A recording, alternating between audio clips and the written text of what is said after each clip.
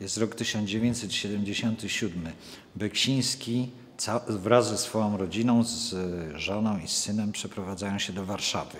Tam będzie łatwiej żyć, nie będzie musiał wysyłać skrzyń z obrazami, żeby je sprzedać, wszystko będzie na miejscu.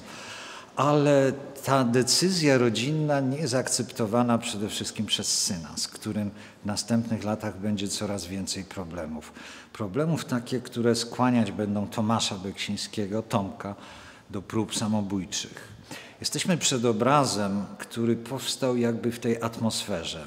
Tomek próbował się zabić. E, ojciec, rodzina, matka oczywiście tego nie akceptują.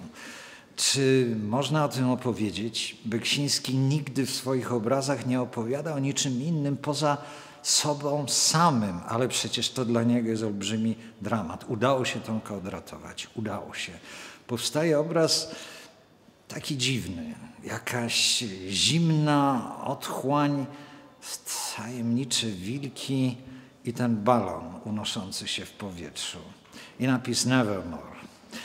To obraz, który jakoś był dedykowany Tomkowi i oczywiście ten obraz namalowany w 1979 roku po próbie samobójczej e, trafia do Tomka. Staje się jednym z jego ulubionych obrazów. Niestety to działanie artystyczne, żeby Tomka jakoś odciągnąć od tych prób samobójczych, nie odniesie sukcesu. Tomek, co prawda, po wielu, wielu latach, ale jednak konsekwentnie będzie próbował nadal, aż do skutku, tą nieszczęsną Wigilię 99 roku. To są dramatyczne przeżycia. Czy one oddziaływały na obrazy? To pytanie, które często zadają sobie widzowie i krytycy. Beksiński, gdyby tutaj mógł być zamiast mnie, by od razu odpowiedział: Nie, nie, nie. Jeżeli to w jakiejś bardzo głębokiej warstwie podświadomej, ja nigdy nie staram się mm, nadawać jakimś, jakichś treści swoim obrazom.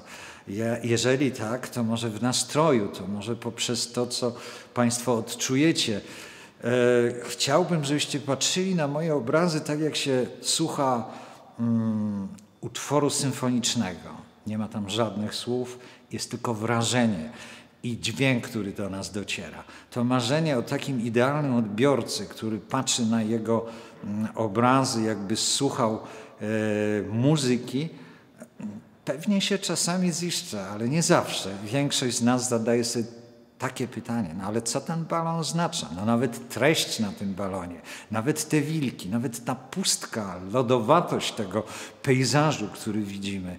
E, może tak powinno być, to znaczy może powinniśmy zadawać sobie te pytania, wiedząc, że nigdy nie uzyskamy autokomentarza, że nigdy Beksiński nam tego nie wyjaśni.